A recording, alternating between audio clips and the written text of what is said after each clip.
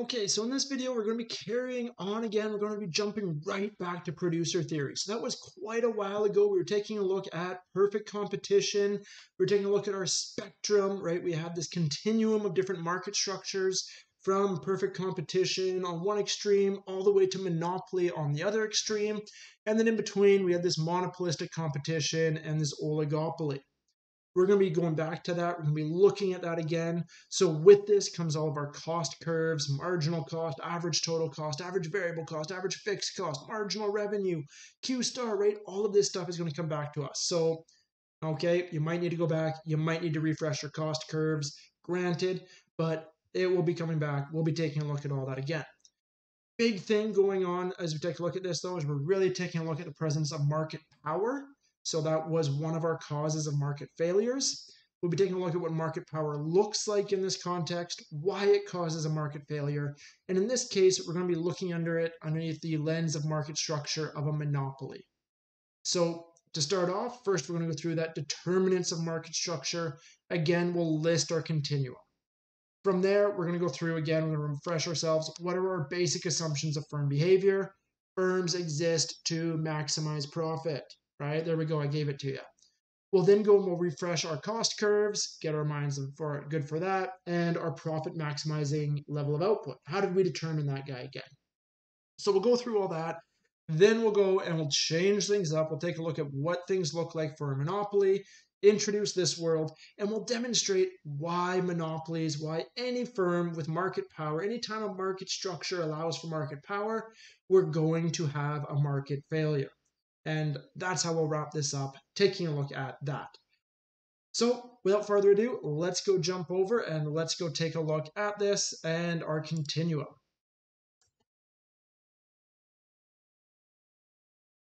So again, taking a look at our continuum, let's get this guy drawn out here. We had one extreme all the way across to the other. We had over here our perfect competition. And right, we had we looked at perfect competition in a lot of detail earlier on. What we then had over on the other extreme, let's change colors for this, we had our monopoly. And if we wanted to kind of compare and contrast what was going on in our determinants of market structure, so perfect competition, this guy here had lots of small firms.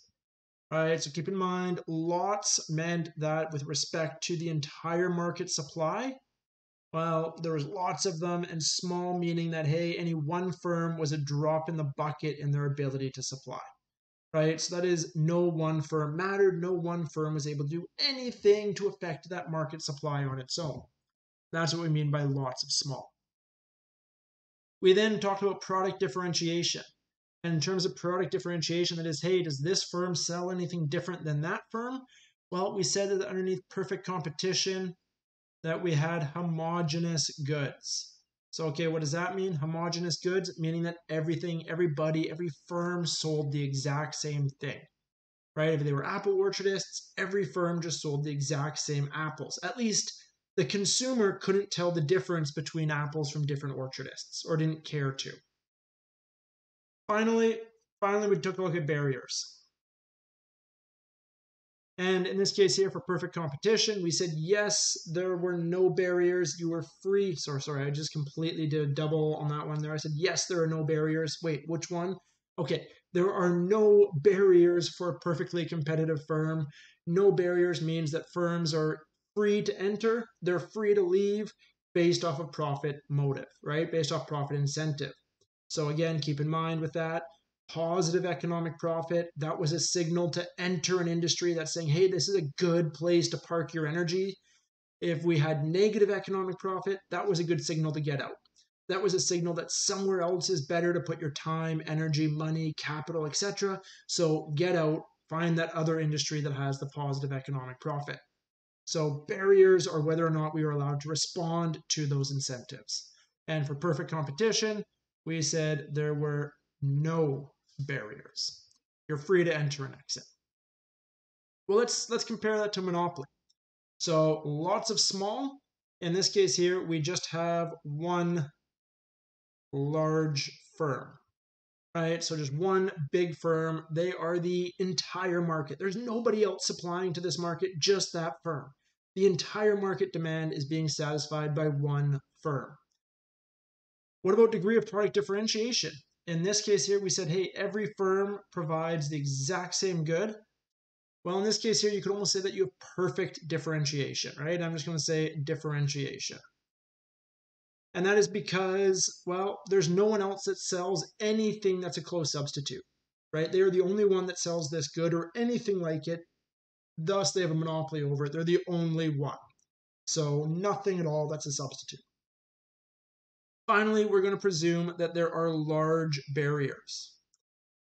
That is, there are barriers that, hey, even if this monopolist was able to earn huge economic profits, nobody else could enter, nobody else could get at those economic profits because there's barriers preventing them from entry. And we'll talk about those barriers as we go in. Just to round out our conversation, in the next videos coming up, what we're going to be taking a look at as well, right? This finishes off our semester. So what we're going to be taking a look at as well, after Monopoly, we're going to be jumping over here to, oh, wrong tool, to monopolistic competition. And if we wanted to list out what's going on in monopolistic competition, we are again going to have lots of small firms, so very similar to perfect competition. But in this case here, we're going to have slight differentiation. That is, one firm is going to differentiate their good, their service from the other firms in a slight way. Maybe in quality, maybe in taste, maybe in preferences. There's going to be some kind of differentiation between firm A and firm B. For example, if you take a look at fast food, hey, McDonald's has their Big Mac, A&W has their Teen Burger. They're ultimately both just burgers, but each has their slight differentiation on what a burger is, what should go on a burger, and thus each one has its own market. In this case here, finally, in terms of barriers, we're going to presume just for simplicity that there are no barriers. But often you may see this market structure occur with small or slight barriers. So keep that in mind, but for our sense, we're going to presume no barriers at all. Finally, the last one we'll look at is going to be our oligopoly. And for an oligopoly, we're just going to have a few large firms. And in this case here, there may or may not be differentiation. May or may not. So differentiation is not necessarily a defining feature of this market structure. We may, we may not have differentiated goods. So we can overlook that one a bit. Finally, though, just like a monopolist, we are going to have barriers. And just like a monopolist will have large barriers, so will an oligopolist. So large barriers here. For each of these, so monopolistic competition, monopoly, we're going to be taking a look at the cost curves. We're going to be identifying optimal levels of output. We're going to be taking a look at all of this and how it creates a market failure. Oligopoly fits right in the middle. The same is going to be true for them, but we're not going to be going and taking a look at their cost curves. We're not going to be going into that because it gets rather difficult for a 103 level. What we're going to take the advantage of in that case, however, is we will, with oligopoly, introduce a concept known as game theory, and that is we're going to take a look in this oligopoly bit. Really, our big focus will be how do you make choices and strategy, right? How do I decide what to do based off of what you're going to do? But mind you, then you're going to have to decide what you're going to do based off of what I'm going to do. But I know what you're going to do, so I'm making my decision based off of that. But then you know what I'm doing, but I know what you're doing, right? Recursively into infinity. That's the idea behind game theory. We'll take a look at that. It's a lot of fun and really how an oligopolist will operate and determine okay, how much do I produce? How do I compete? What do I end up doing in the long run, in the short run? But okay, all of that to say, let's carry on. Let's take a look at our monopolist. Before we jump into monopolist, though, let's refresh our memory as to firm behavior. Let's refresh our memory about cost curves, and let's refresh our memory about how we determine our optimal level of output, all of that. So that is to start off. To start off, we'll refresh ourselves. We'll look again at perfect competition. So let's go there. Perfect competition. Just to remind ourselves what we're looking at. Okay, so starting off, taking a look at our cost curves. Let's do that. We're going to have our cost curves. We have our price. We have our quantity. And to start off, let's start off with our average variable cost dips, rises up, right? Keep in mind we have these U-shaped cost curves. Average variable cost, that was my labor cost, right? And hey, this here, keep in mind, this is in the short run. In the short run, what's our determinant of the short run? Capital is fixed, right? Capital is fixed. I have fixed costs. My capital costs are my fixed costs. Okay, I'm also going to have my average total cost. So starting off higher, hitting a minimum, and then rising up, it will get closer to my average variable cost, but it will never ever touch my average variable cost, right? The difference here, the vertical distance between these two lines at any point Right, I could take any vertical distance between these two lines. Notice they're different. That there, that vertical distance is my average fixed cost. So I can always infer my average fixed cost from that vertical distance. Okay, let's get rid of those lines. Linking and really driving our cost curves, linking and driving our cost curves was our marginal cost. Okay, so we have our marginal cost and then kind of points of interest as we go through this. We can label them here. We'll go, that's A, B, and C. We said A, hey, that is the capacity of the firm. B, that there, that's our really where we begin to begin to experience our diminishing average return. So from B onwards, we experience diminishing average returns, and technically that's returns to labor. And then finally, C, that point there, that is our minimum marginal cost, the highest point of our marginal product of labor. From C on, we experience diminishing marginal returns to labor. So few few things going on there. What we then have what we then have is we have our market, right? So let's just draw our market right next to it.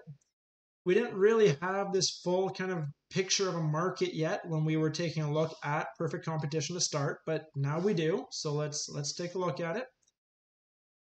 Here is some representative firm, so one firm in a perfectly competitive market. And we have our demand, maximum willingness to pay, marginal benefit, and we'll presume this is for a private good, right? So marginal social benefit equals marginal private benefit. We'll presume this is for a private good, so marginal social cost equals marginal private cost. There we go, supply marginal cost. What we witness is that we then get some market price. Let's uh, let's drag that down, make that actually at equilibrium. There we go we get some market price and some quantity exchanged. There we go. And what we can witness is that, hey, if this P and this P are the same scale, well, we could just draw this guy right across. Something like that. And keep in mind, our perfectly competitive firm, they're just a price taker. They just take this price that the market gives them and they say, okay, yep, I'm too small. I cannot influence this price. If I charge anything above this price, no one will buy my stuff.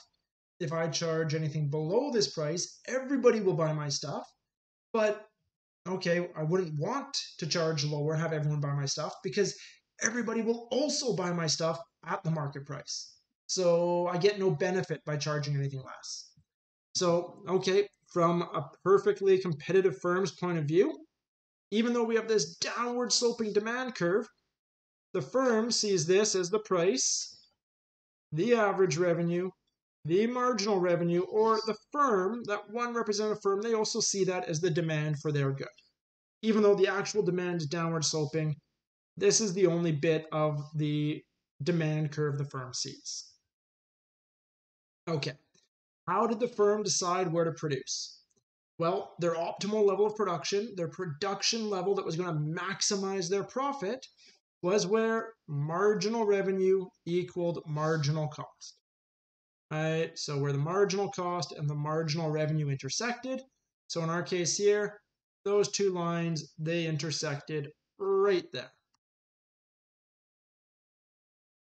Boom, there we go. Draw that down. We had our Q star.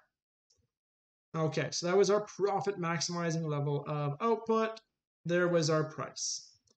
We could then take this Q star back up right? We can take it to the average total cost here. Well, let's use the actual line tool. Take it there, and right there I would have my average total cost. So hey, price minus average total cost. Price minus average total cost, that there is my profit per unit. I am producing Q star units. So I could shade in this whole area here. Height being my profit per unit, width or base being Q star, the number of units being sold, and this box, that box would be my profit. In this case here, hey, price is above average total cost. That was my positive profit. I was profitable. Yes, great. Okay. Then we could say, great, this is a perfectly competitive firm operating in the short run. What happens from here? Well, hey, they're earning positive profit. They're earning positive profit. Let's write that down. Positive profit in the short run. So, okay, hey, perfectly competitive. One of our determinants, there's no barriers. So firms respond to these profit signals. So positive profit, this encourages entry. Hey, entry is we have more firms in the market. Keep in mind, if we go back to our determinants of supply and demand, more firms, number of suppliers, number of suppliers, that was one of our determinants of supply. So as we have more and more suppliers, what begins to happen? what begins to happen is this supply curve begins to shift to the right. right. It begins to make its way to the right. As it begins to make its way to the right, what happens to the price? Well, the price begins to fall, quantity exchanged begins to rise. So, this causes price to fall. As price falls, hey, keep in mind, price falls. As price falls, we'd move along this marginal cost curve.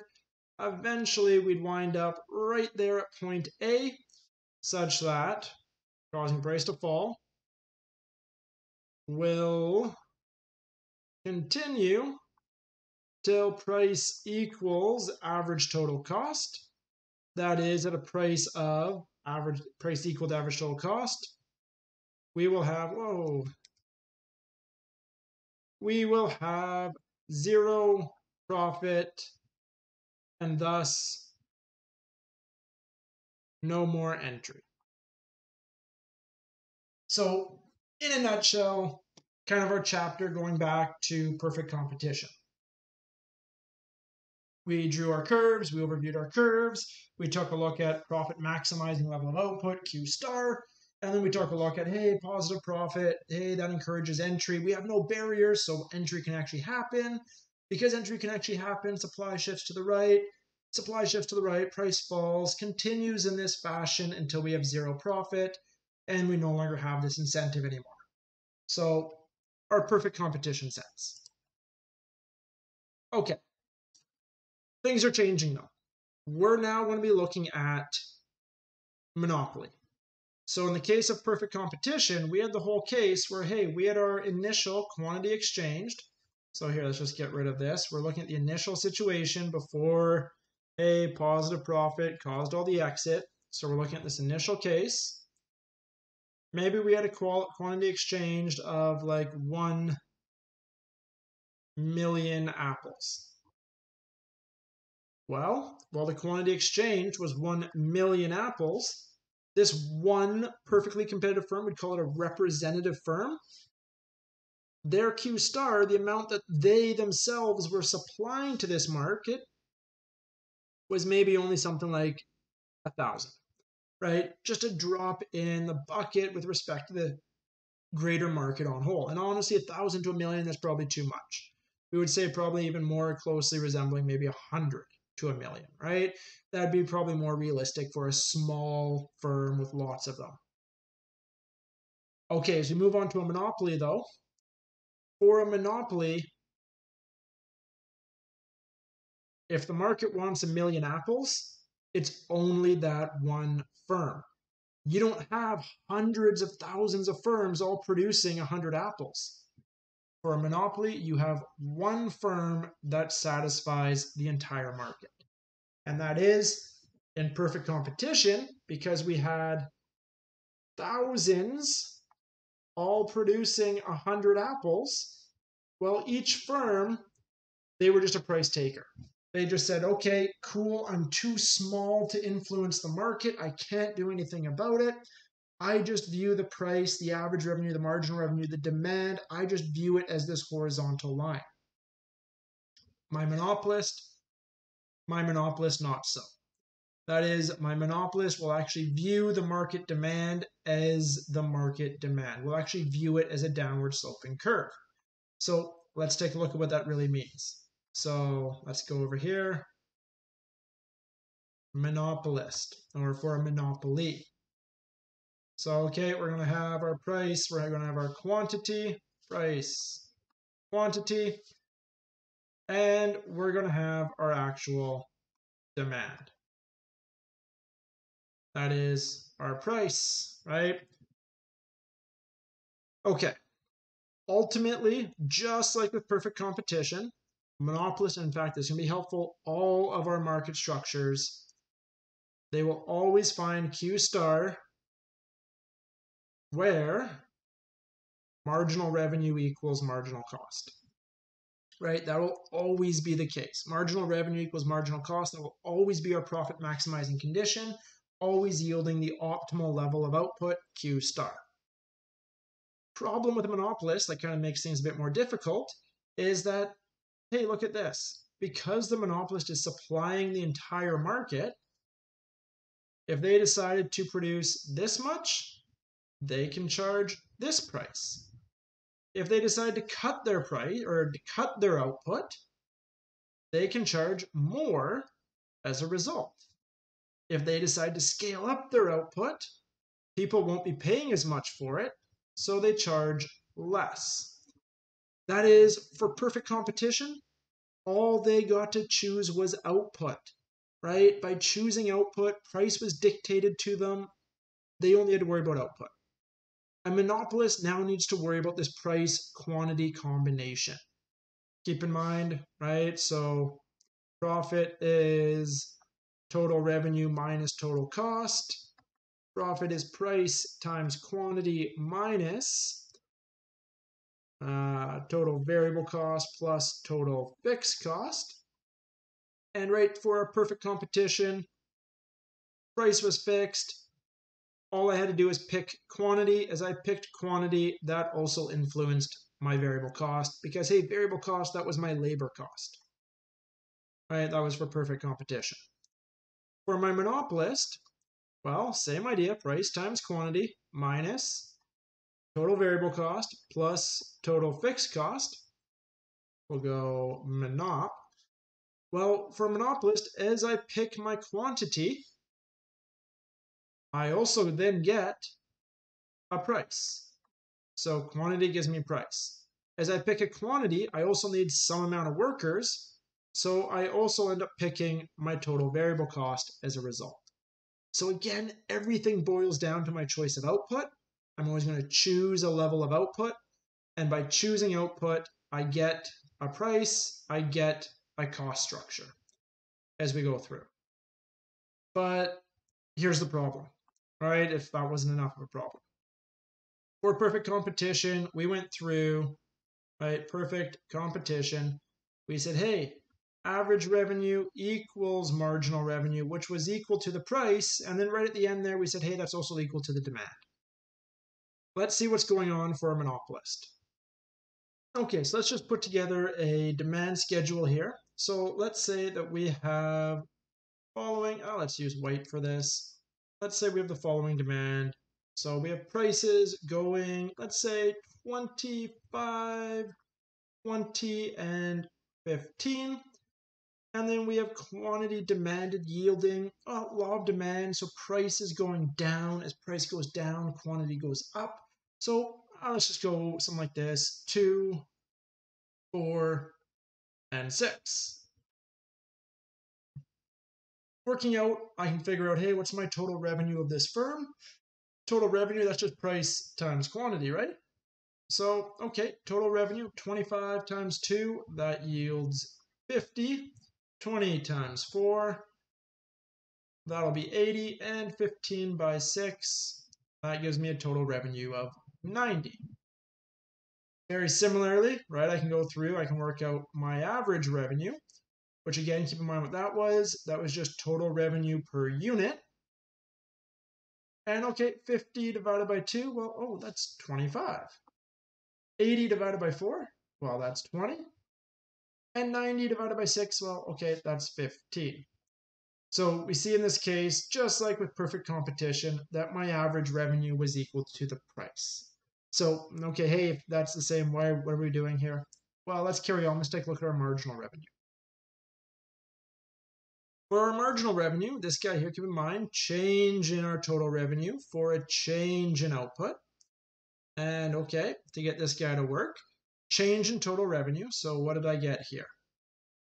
Plus 30 for a plus 2. So, okay, 30 divided by 2 is 15. Keep in mind there's no first one because I don't know what I came from in that case. And then similarly, next one down, oh, in this case, I'm only plus 20, but for again, a plus 2. So now my marginal revenue is 10. Sorry, complete math error there.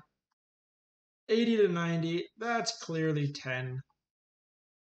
10 over 2, that's clearly going to be 5. Well, they say mental math's not the strong suit today. Okay, so what we see going through this is, hey, my marginal revenue, clearly for a monopolist, my marginal revenue is not equal to price. In fact, my marginal revenue at each point along the way is less than price. This appears to be problematic because as we're trying to identify for monopolists what their level of production is, we want to find the point such that marginal revenue equals marginal cost. And if marginal revenue doesn't have this nice, easy relationship, it's going to become difficult to identify where our profit maximizing level of output was going to be. Well, okay, it doesn't pop out right away, but what we can actually work out is we can actually work out our slope in each scenario. So, okay, keep in mind our slope. What is this? Taking a look at our graph, we have our price, we have our quantity. So our slope is rise over run, change in price over change in quantity demanded. So, okay, if we work that out, let's go change in price. So we'd have a change in price of 20 minus 15 well, we're going to have a change, uh, yeah, 20 to 15, that's negative 5. So my slope of my demand curve is negative 5 all over change in my quantity demanded plus 2. So 5 over 2, negative 5 over 2 gives me a slope of negative 2.5. So, okay, if I were to draw my demand curve in that way, let's use blue for a demand curve like we've been typically. I would have my demand. This is my price. That is my average revenue, right? We've seen this all the way through. And this guy here, it has a slope of 2.5, negative. All right, we'd have some value there and we're decreasing. What about my marginal revenue though? Well, my marginal revenue, change in price, hey, marginal revenue, that's just dollars per unit, just like prices. So here, what do I have? 15 to 5, that's negative 10 for a change in quantity demanded. Plus 2. So, hey, that's negative 10 over 2 gives me 5. Slope of 5 versus slope of negative 2. I'm sorry, slope of negative 5 versus slope of negative 2.5 what we find when we could expand this out even farther, we could go one farther carrying on with our order, right? We have what, 25, 20, 15. We could go down to 10 here. Same thing, two, four, six. Next guy there would be eight. Total revenue in that case there, 50, 80, 90. Okay, next one is going to be 10 times 8. Oh, we're going back to 80. We must have gone over that inflection point of being elastic to inelastic. Average revenue, that will be 10.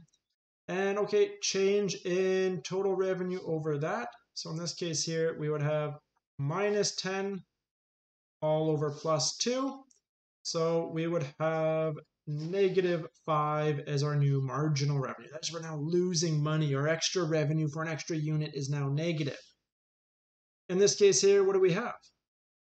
5 to negative 5. Well, that's another minus 10. And for another plus 2. Hey, once again, that gives me a slope of negative 5, right? This slope is constant throughout. But, okay, what does that give us? Well, it gives us that, hey, this slope is twice as steep as the slope of my demand curve.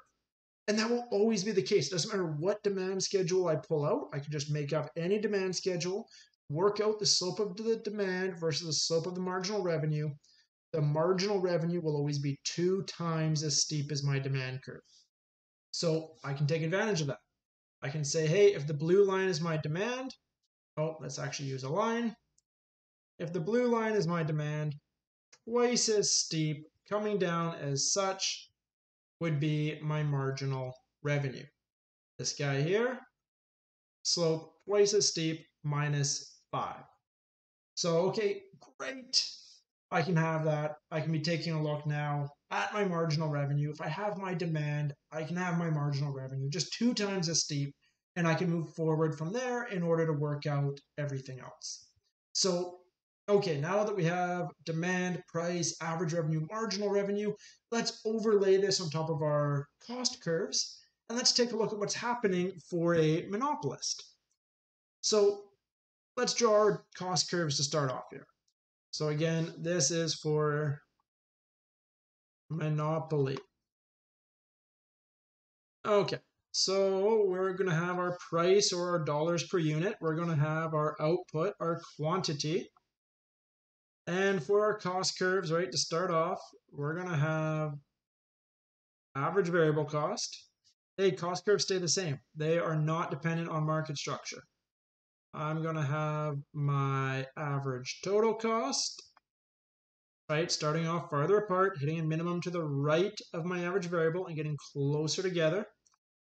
Linking the two together, coming up through the minimum point of each is my marginal cost curve. And then what we're going to have is our demand. So I'll use white for the demand curve itself, just because I've already used blue for average total cost. So we'll have demand coming something like that. And keep in mind, right, this is monopoly. They see the entire market. So the market demand enters as the market demand. So there'd be my demand curve. Demand, average revenue, price. I now need to determine, hey, what is my optimal level of output? What is this monopolist going to produce given their costs and given the demand for their good. Well, in order to work that out, I need to know what my marginal revenue is. So, marginal revenue, we can kind of take advantage of the fact that, hey, this is my demand. Marginal revenue will be twice as steep. So, something about there will be the corresponding marginal revenue. And I now have all of my curves for this monopolist. How do I identify Q star?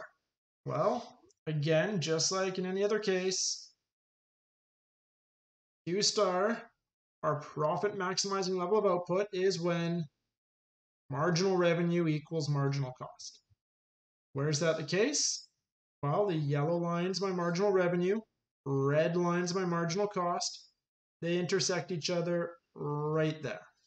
So if we take that point, we draw it down, I'm going to get my Q star, my profit maximizing level of output. Okay, that's profit maximizing level of output. What's my price? Right? What commonly ends up happening, like we had done with our perfect competition, is we go, okay, boom, straight across, there's my price. But no, no, no, no, no, no. Boom, straight across, that's my marginal revenue, marginal cost, right? All we're doing is saying Q star those two lines. So what's what's my price? Well, we're going to take this Q star, we're going to draw this line straight up until we hit our demand curve. Demand average revenue price. So we take that, we drag this guy across, and that is our price. Q star, profit maximizing level of output, all the way up to the demand curve, and then across. Where are we at? Are we making profit? Are we losing money? Are we breaking even? What's going on here?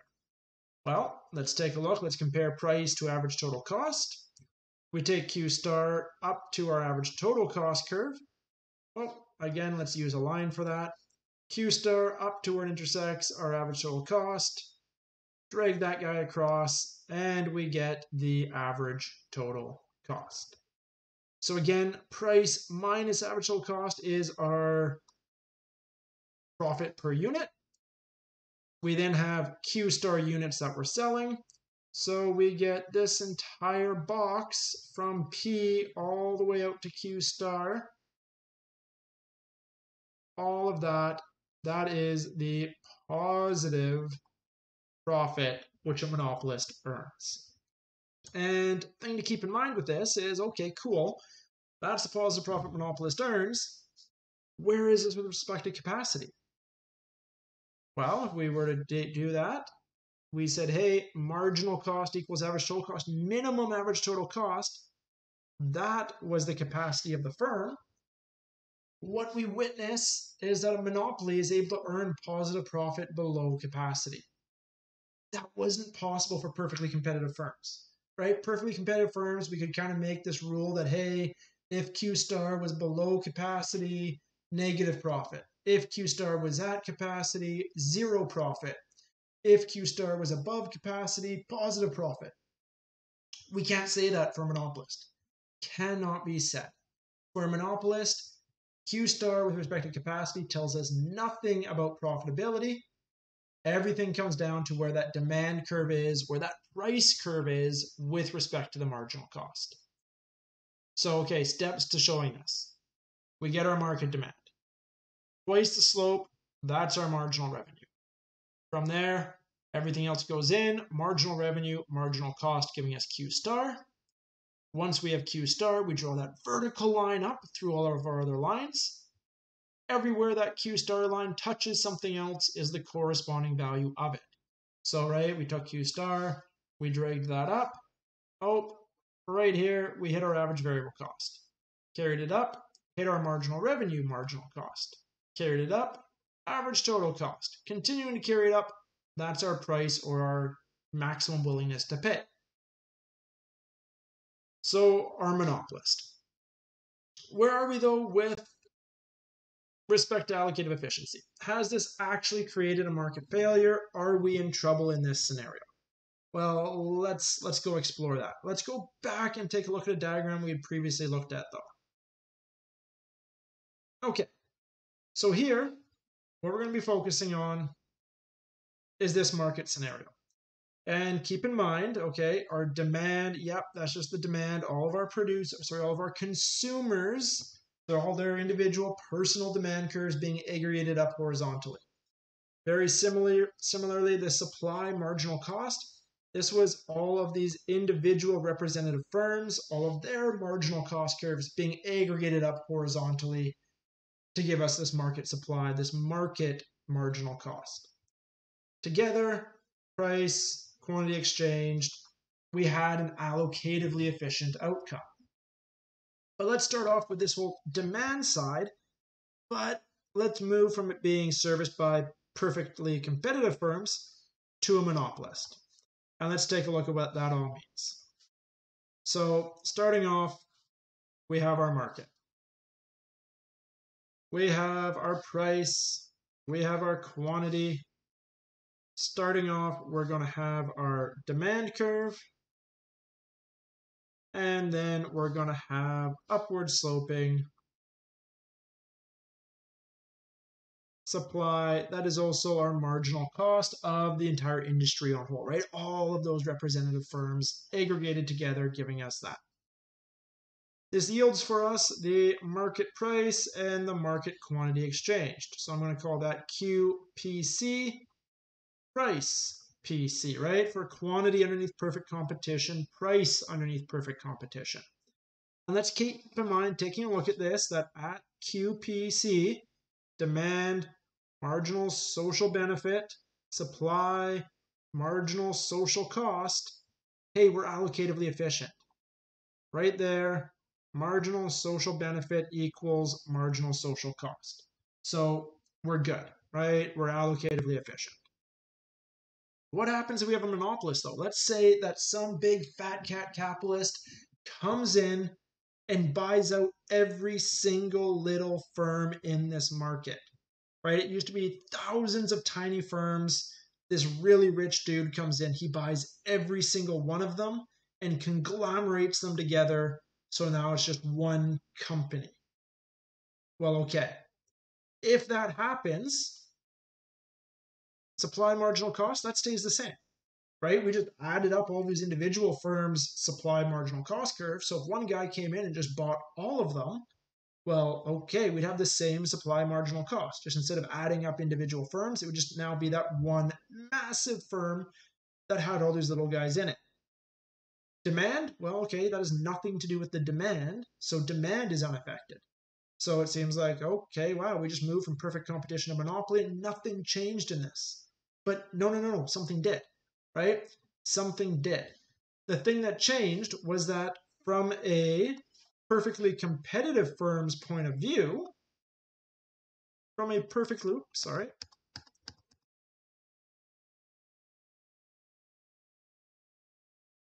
from a perfectly competitive firm's point of view, this price point was the price average revenue marginal revenue.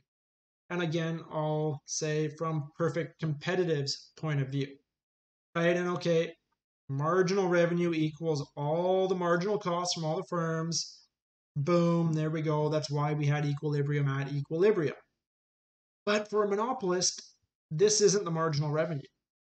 For a monopolist, because now they get to see the whole market, they written as, hey, if I were to change my prices, if so if I were to change my quantities, I'm going to be changing my prices. They now look at this and they say, cool, something like this, eh, looks about twice as steep. Something like that, that is now my marginal revenue. And that's now the marginal revenue for the monopolist. Okay, what does this end up meaning for the market on whole? Well, the monopolist looks at this. They're going to equate their marginal revenue with their marginal cost hey, that occurs right there. So marginal revenue, marginal cost, they're going to go boom. That will be my profit maximizing level of output as a monopolist, Q star monopoly. And then what price am I going to charge? I'm going to go all the way up to the demand curve, what price the suckers are willing to pay. And I'll cut that across. And I'll have P monopoly.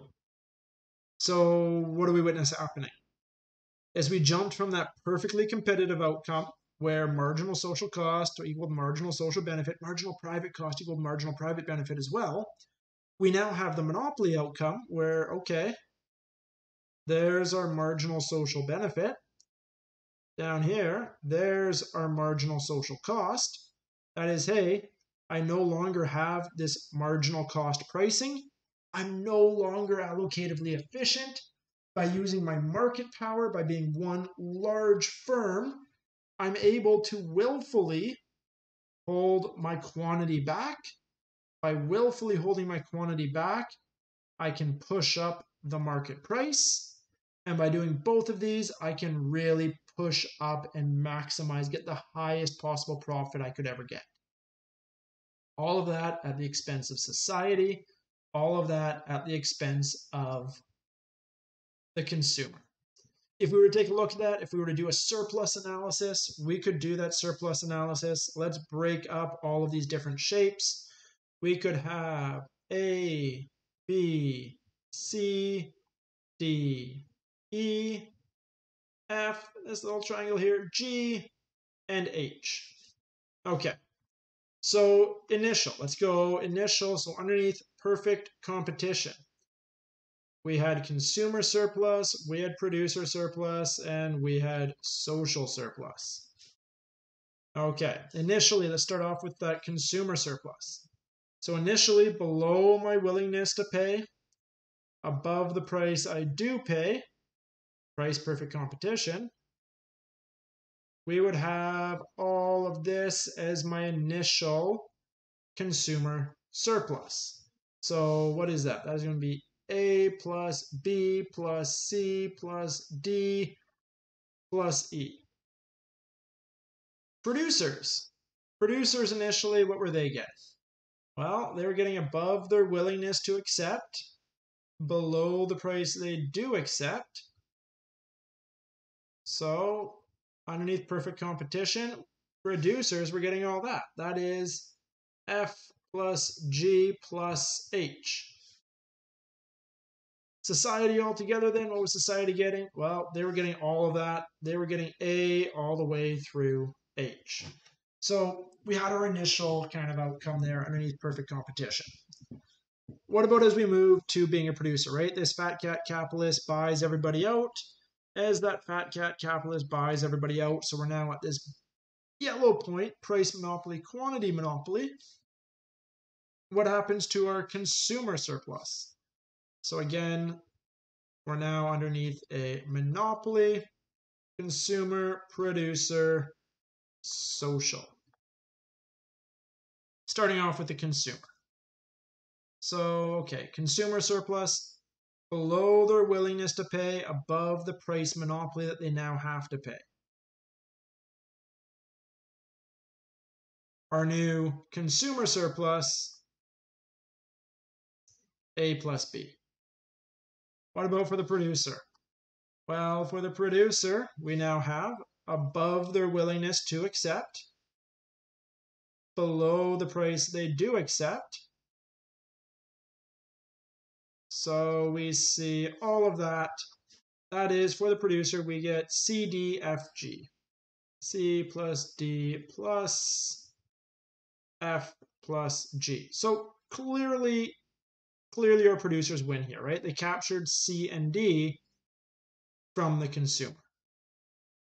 Society, society on whole, what did they get? Well, they get A, B, C, D, no E, F, and G, no H. So we would have a deadweight loss, right? What society loses altogether, right? This is our cost to society from having a monopolist. That cost to society due to the inefficiency is E plus H. That is our cost from having this market served by a monopolist rather than being served by perfectly competitive firms. So that's our problem there.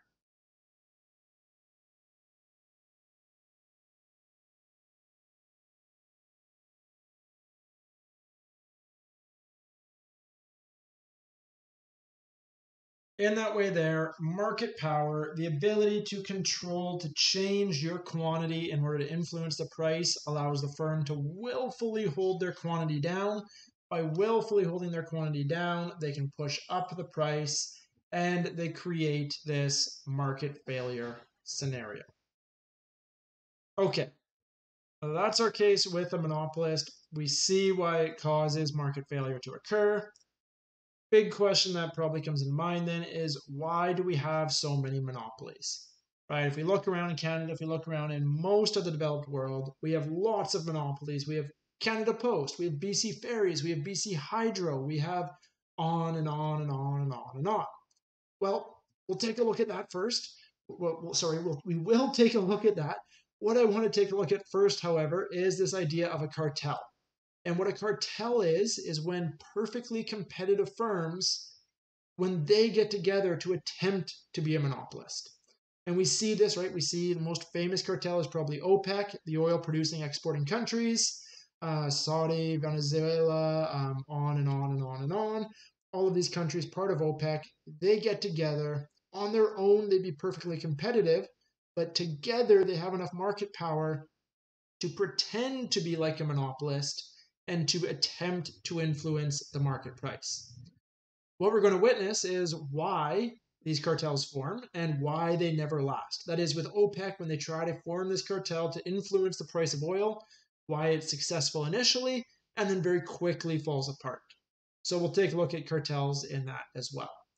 We'll then move on to these barriers to entry, which then nicely wraps into that conversation that I just talked about as to why we have so many monopolies around us and we'll talk about that to finish off. Okay, so the idea with cartels is that we start off with perfectly competitive firms. So in order to demonstrate this, let's suppose we have perfectly competitive firms earning zero profit in the long run. So they're a long run profit condition. And let's just draw that to start off, just so we can visualize what's happening. And keep in mind, this this all gets really ugly really fast. We'll try to do our best to kind of keep it as simple as possible. And so, with that in mind, what we're going to do is we're going to draw these perfectly competitive firms, just taking a look at their average total cost curve. So, there we go. Average total cost.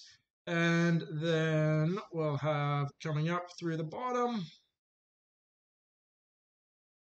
the marginal cost. Now we want to draw these for this firm earning zero economic profit. So that is a price point coming in right through the minimum. Let's let's fix that a little bit. Right through the minimum there. So we have price equals average revenue equals marginal revenue equals demand. And just to be clear, that was for perfect competition. So, okay, what do we have? We have our Q star.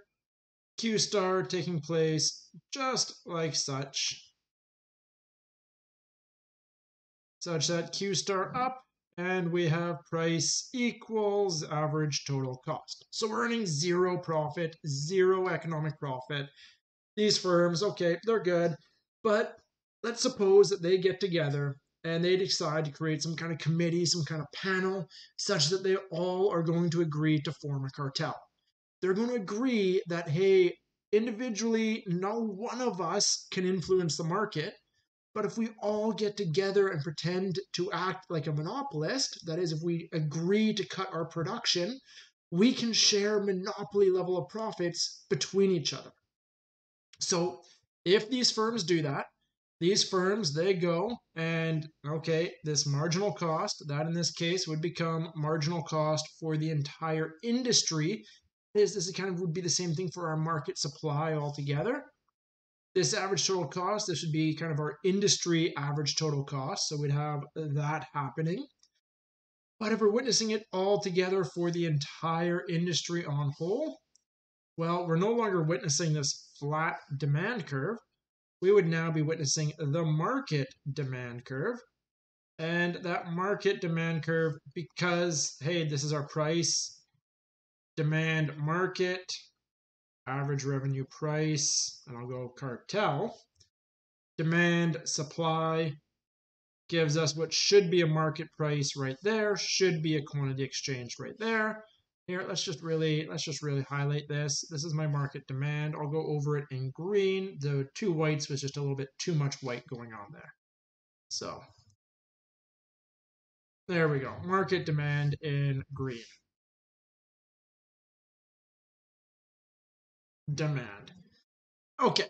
Well, now that we've come together and we've agreed to look at this market as a monopolist would, we've agreed to all cut our production in order to be able to ramp up the prices and share this monopolist level profit.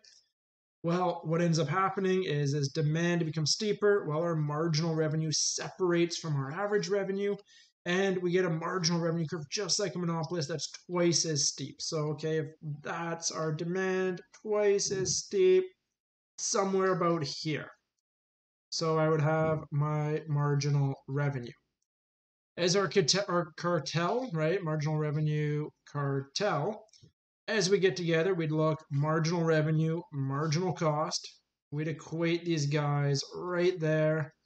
We would then say down, that would be my Q star underneath the cartel. That is, we've essentially just placed a quota on ourselves. We've gotten together, we've determined some profit maximizing level of output underneath a quota. We've put this on ourselves. We have this Q star cartel. We now need to figure out what price we're going to charge underneath the cartel. So we take that Q star all the way up to our demand curve. Demand across. That's going to yield for us our price underneath the cartel. Taking a look at this though, well, okay, price underneath the cartel, Q star all the way up, we have our average total cost. And as a result, what we get is this whole shaded area here. Ah, let's actually shade that in properly. This whole shaded in here, profit per unit over Q star units. There we go. We would get all of this here as our positive profit. So there we go. Just by acting as a cartel, we've been able to, as a bunch of perfectly competitive firms, we've been able to get together, restrict our output. By restricting our output, we're able to push up the price and we're able to push ourselves into this positive profit scenario. Well, what's the problem with this? Why don't cartels tend to last? Well, the reason why cartels don't tend to last is twofold.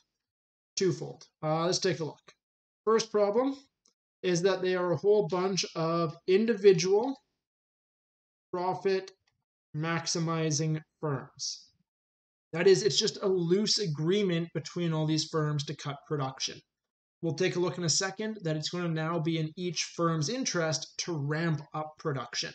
And keeping in mind, because they're perfectly competitive, if only one firm decides to cheat, right, renege from this cartel agreement, if only one firm does, the price won't be affected. Nobody will ever know because every individual firm is so small.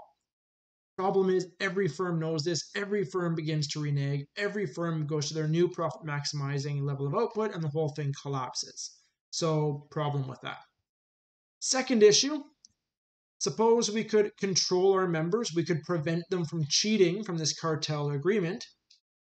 Our other kind of determinant of market, market structure for perfect competition is that there are no barriers. So that is by creating this cartel, by having this positive economic profit, you are actually now incentivizing entry. So in order to prevent that, and this new entry, right, this new entry is going to increase the supply, push down the price, erode all of this economic profit, bring you right back to where you were. So two possible fixes. First, you have to capture the new entrants. You have to capture the new entrants. You need to bring them into your cartel. Or alternatively, you need to create barriers. And we'll talk about what these barriers might be in the subsequent bit, but those would be your two options. Let's go back though. Let's go back to number one here that the fact that these individual firms are profit maximizing. Well, that means if these individual firms are profit maximizing, well, let's focus on this fact here that, hey, this is our marginal cost. And let's suppose this is, right, just our marginal cost for that individual firm, representative firm. So we're just looking at one firm altogether. Well, that one firm, they have successfully pushed up the market price to P cartel, meaning that underneath the cartel, this individual firm is now looking at this. I'll go price prime equals average revenue prime equals marginal revenue prime equals demand. Right? This is what the perfectly competitive firm is individually seeing. So cool. Underneath the cartel, they were able to hold down their quantity, push up the price, and earn this positive profit. But now the individual firm, let's use well, let's use green for this level of Q star. The individual firm, they're looking at their marginal revenue, they're looking at their marginal cost, and they're saying, hey, hey, hey, look at this. My marginal revenue equals marginal cost is out there. I'll call that Q star cheat. And hey, at Q star cheat, what do I have? Let's go back up. Q star cheat to average total cost. That's something like this. There's that corresponding average total cost, meaning that, hey, if I cheat, wow, my profit, let's use green for this profit, would be price cartel minus price cartel all the way down to that new average total cost, all the way over to Q star cheat. That is by cheating from this cartel arrangement, I could even get more. I could get a huge increase in my economic profit. I could capture this entire box as economic profit, right? Massively increase it. And the cool part is, the best part is because, hey, I'm just a perfectly competitive firm. I'm so small, so insignificant that if I'm the only one who cheats from this cartel agreement, no one will catch me. And I can just earn huge economic profit and keep laughing. Okay, the problem is this is what every individual firm thinks, right? Every individual firm looks at this and realizes, hey, I can cheat, I can get this huge economic profit, and no one will catch me. But then everybody does this. As everybody does this, what we end up doing is you'll notice Q cheat is above what our original level used to be. So we end up flooding the market with this good. We end up creating too much of this good because everybody is cheating. As everybody cheats, we flood the market, causing the price to collapse. As the price collapses, we wind out right back to where we started at this whole thing, which is that original level of Q star before we formed the cartel and the cartel collapses around us. So, in this way, here we've demonstrated why cartels are inherently unstable. They have this incentive to form, to kind of collude to create this economic profit. However, once they've created this, they're going to have the incentive to break it apart because they're going to be better off by cheating than by staying together, at least temporarily. And as a result, the cartel will fail. How, how can you have a successful cartel? Well, as we've already alluded to, two different things. You need to be able to control your individual firms. You need to be able to have some kind of check in place to prevent them from cheating because they're going to have a strong incentive to cheat. So that's the first thing you need to do control your members. Second thing you need to be able to do is you need to be able to overcome these barriers, either by capturing new members as they come in and bringing them into the cartel, or by creating barriers in order to prevent them from entering. So, in that sense, there, let's go take a look at these barriers and let's take a look at what some of these barriers are, both created and not. Let's take a look at that next. Okay, so for barriers, we're going to look at a few different barriers, uh, barriers to entry. The first, we're going to kind of break this apart into two separate one. We're going to be taking a look at natural barriers versus created barriers.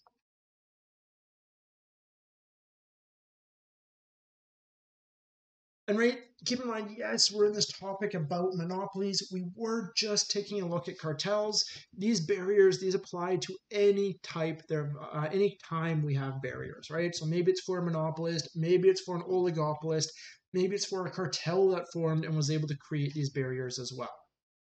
Let's start off taking a look at these natural barriers because these natural barriers are really that one that explains why we have so many monopolies in the world around us. So, okay, what are these natural barriers? Uh, these natural barriers, these are essentially just given the, we'll go extreme capital cost to enter necessitates only um, we'll go only one or a few firms at their minimum efficient scale right? A minimum efficient scale, keep in mind that's our long term kind of situation on that long run average cost curve. So essentially, given the nature of your industry, given the nature of the market that you're entering, you have such a capital intensive industry that it isn't possible for every firm to hit their minimum efficient scale if you have lots of firms competing. So, an example of this would be something like BC Ferries right? So if we were to take a look at BC ferries, you have these massive capital costs of, well, okay, first of all, you have the ferries.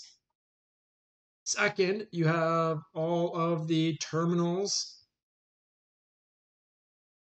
which are massive terminals to build these, and then the berths for loading all the vehicles, everything that goes with that, right? All of this, this is a huge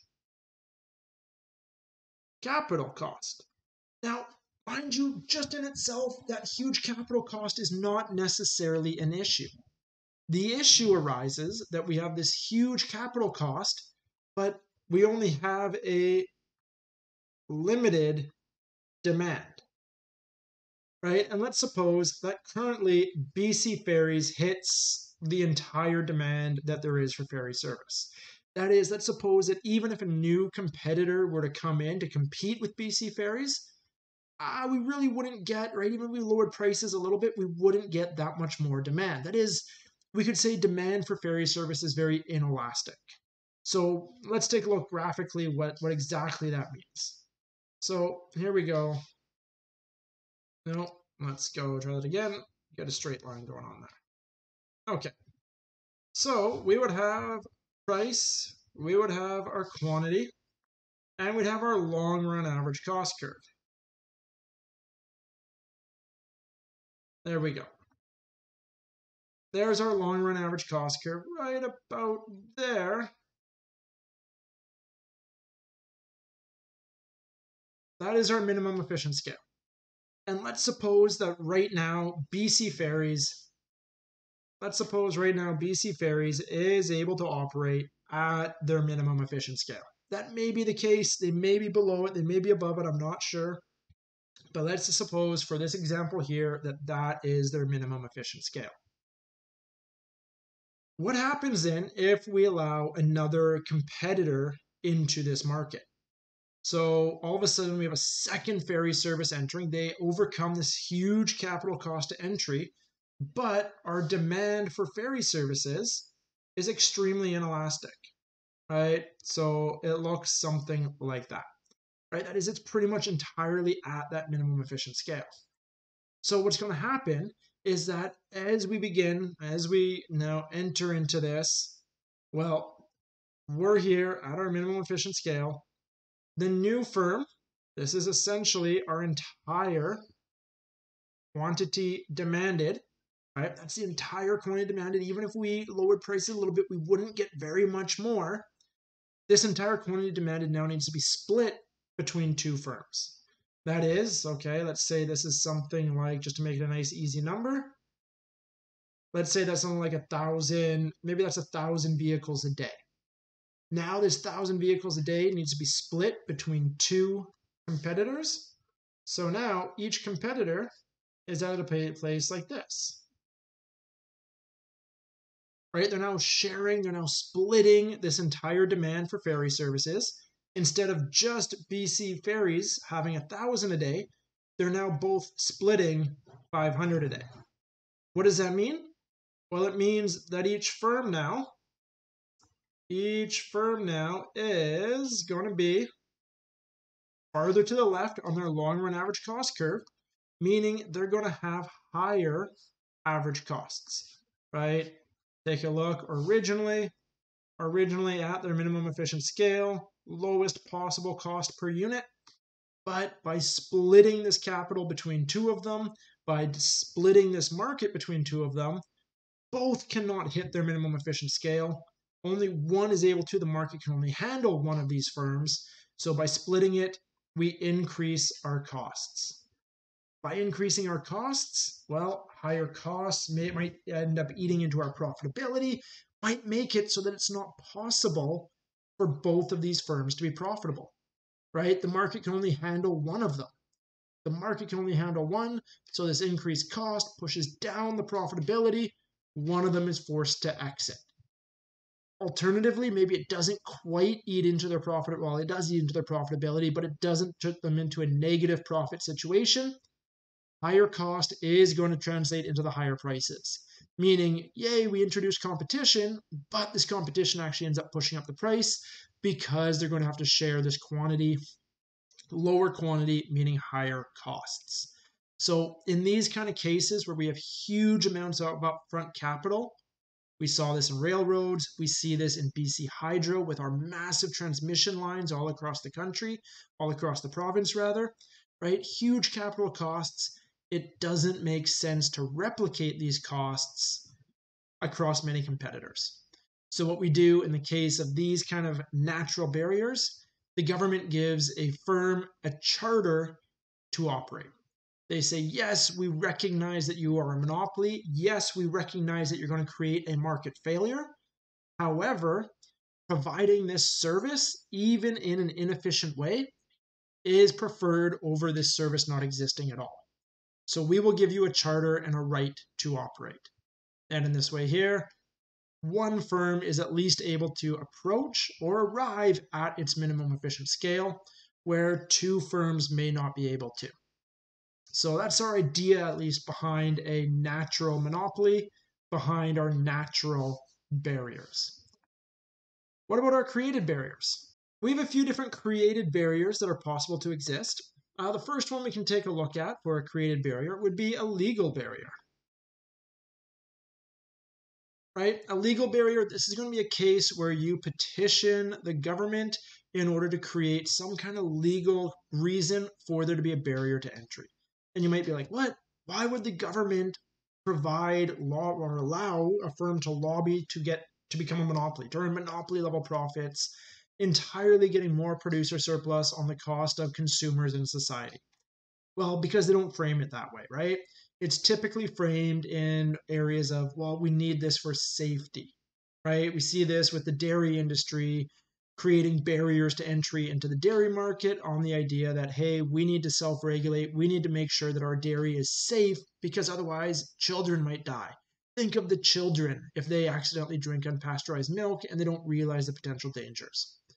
We see this in the taxi industry with the taxi medallions, right? This whole taxi license that you need lobbying the government to say, no, no, no, no.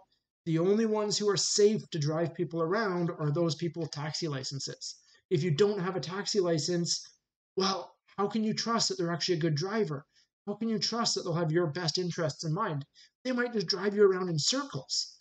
Only by hiring someone with a taxi license, only by allowing those people with taxi licenses to do drive for hire, can you ensure people's safety right? And so, in these kind of ways, they convince the government to put in some kind of legal action to create a barrier to say, okay, you can only drive for hire if you have a taxi license. You can only sell milk if you're part of this dairy cooperative.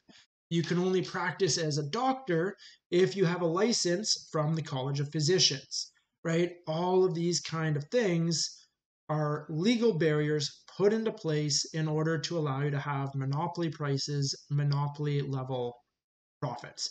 And sorry, okay, again, I'm saying monopoly level, not necessarily. All these barriers really just allow for the creation of market power. Even oligopolies had barriers, keep in mind. So it just allows you to prevent entry, which allows you very often to begin to act more like a monopolist, is probably the best way to say that. So we would have these legal barriers being put into place. What we would also have is we'd also have, okay, underneath these created barriers, Well, we could do other things. The firm could begin to engage in heavy advertising. Thing is, advertising is extremely expensive, right? Advertising is a huge industry, huge cost to engage in advertising. As a result, for a firm to put a massive amount of money into advertising, well, really now their brand name becomes associated with the product. Any new entrant, in order for their brand to even be recognized, to even be accepted, or to know what it is, they are going to have to enter into advertising in order to meet that that is a huge extra cost, right? This is essentially just putting a huge cost barrier into place in order to eat away at the potential profitability of any new any new uh, income. Other possible ones is that you could engage in predatory pricing. So predatory pricing, this here is essentially, hey, we see that there's a newcomer coming into the market, we drop our prices. We've been earning positive economic profit for so long, we can handle this. We'll just eat into our reserves for a while. We'll engage in this predatory pricing, lower our prices such that the newcomer can no longer maintain their profitability, continue until the newcomer leaves. As soon as the newcomer leaves, well, we can raise our prices back up and recoup our losses. If that doesn't work, you can always additionally just buy out your competition. That is, anytime a newcomer enters the market, you can just buy them out. And this is very problematic for competition, for new ideas, and the like. And what we're witnessing more and more, unfortunately, in tech markets, right? We're, we're seeing this rise in monopoly, oligopoly, really rise in market power in these tech sectors. And we see even new entrants into this tech sector. We see their business plans, their kind of hope isn't that they will create a new business that will hey challenge or get at the profit that google is earning or that facebook is earning or etc no no no. Their business plan is to be noticed by google so that they get bought out. That is problematic. That just allows a greater concentration of market power a greater inefficiency altogether. So problematic in that sense and a created barrier in order to prevent entry right? They can't enter if you're if they are now a part of you. So some kind of created barriers that could exist that could exist in that case. Okay. These barriers, they exist in the short run, they exist in the long run to prevent entry. But what we also have is we do have a very long run time period. And keep in mind, in the very long run, our definition of the very long run is that we can now change our technology. And okay, if you were an entrepreneur, you were tech savvy, you were an inventor, you wanted to kind of create a new invention, what is really worth your while to put your efforts, your energies into? It's going to be worth your while to target these monopoly, these oligopoly, these sectors that have large barriers put into place. They have these large barriers put into place to protect them from competition, to allow them to continue to earn huge profits, and so to be able to create a new technology to overcome these barriers could allow you access to those huge supernormal profits. And so this technological innovation has two kind of outcomes. It has the first one of creative destruction. Creative destruction. That is where you create a new product that revolutionizes the market so much that it has destroyed the old product altogether. You have made the old industry obsolete, right? Your new invention has just destroyed the existing marketplace. And now you have all the market power because you created it, right? In many ways, personal computing had, did, had done that to the typewriter right? Typewriters virtually don't exist anymore, completely replaced by keyboards and personal computers. It was argued way back in early 2010 ish that tablet computers, iPads, were going to do that to laptops and the personal computer. Well, okay, turns out that was a bit of a flaw.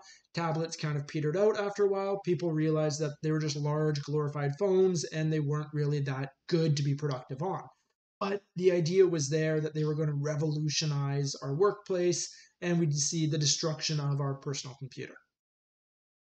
Very similarly, though, this here we've seen the rise of wireless. Uh, we've seen the rise of streaming technologies So Netflix, Crave, uh, what else do we have? Amazon Prime, all of these streaming technologies, they have by far and large destroyed traditional linear programming on cable television.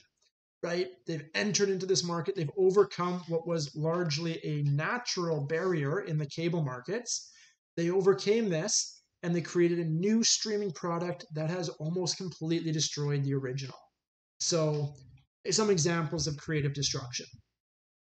Other things that can be done is it can be taken a look at creating new technologies to circumvent barriers. Right? That is, you're not destroying the original industry, you are just creating a new technology that allows you to get around the barriers. And in this case here, a classic example of this is Uber and Lyft. Right? Uber and Lyft ride sharing companies well, with the rise of smartphones and instant connectivity, well, that overcomes a lot of the safety aspect. You can be kind of sure, like, hey, I'm not being kidnapped. Um, you also have with this as well, you know your route. You can look up on maps or the like, hey, this is the fastest route between A and B. So you don't even really need to trust that your driver isn't driving you in circles. You can confirm this. Then, through kind of overcoming a lot of the safety concerns, they were able to lobby most governments around the world to overcome the existing legal barriers, saying, hey, look, all of those safety concerns raised, we've covered them off, right? We can provide the same service. You don't need these legal barriers in place anymore. And in that way, there, through this new technology, through this new way of dealing with business, you can circumvent certain barriers. So, two different ways that in the very long run, these barriers can be destroyed. So keep in mind with this, right? In the short run, a firm with barriers can earn economic profit. Mind you, in the short run, a firm without barriers can also earn economic profit. So here, here, let's let's just do it this way. Let's write this down. Let's just actually write this down. Let's take a look. Short run, long run, very long run. Okay, and we're going to do with barriers versus no barriers. Okay. In the short run, yes, you can earn positive profit if you have barriers. You can also earn positive profit if you don't have barriers, right? So keep in mind that was perfect comp or what we'll get to as well, monopolistic competition. Up here, barriers, that would be a monopoly or a cartel, and an oligopoly. And again, cartel only if they can create, say, a legal barrier. Taxi industry, for example, is a cartel that's created a legal barrier.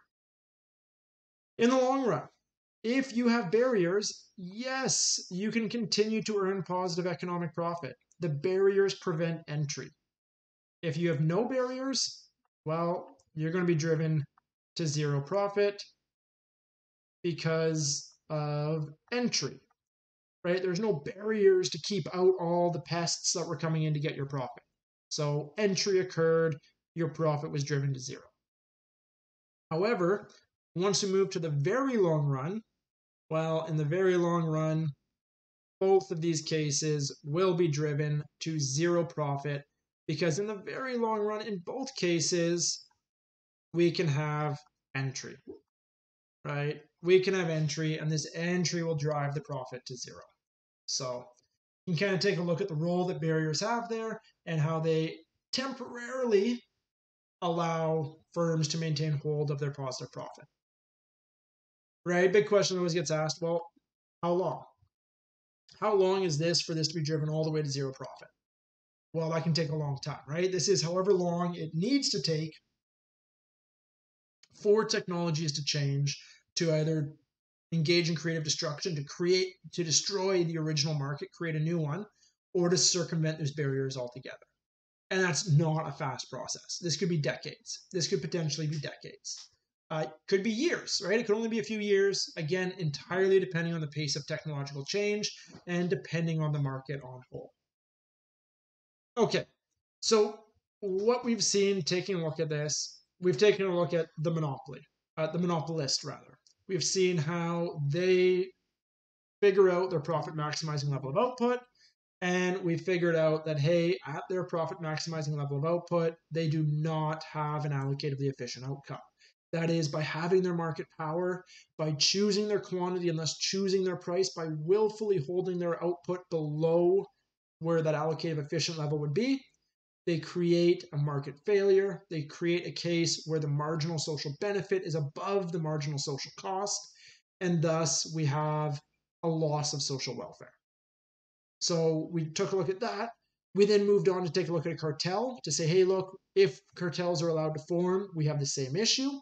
We saw, though, that cartels are inherently unstable. It's very rare to find a cartel that is able to control its members and prevent entry.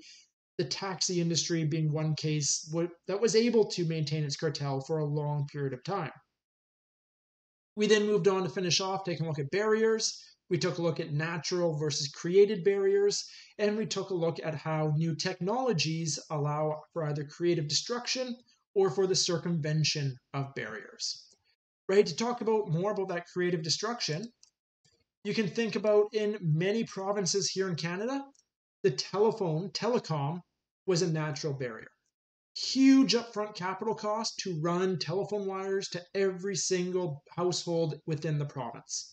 As a result, most provinces had just one public telephone company. In BC, here it was BC Tel.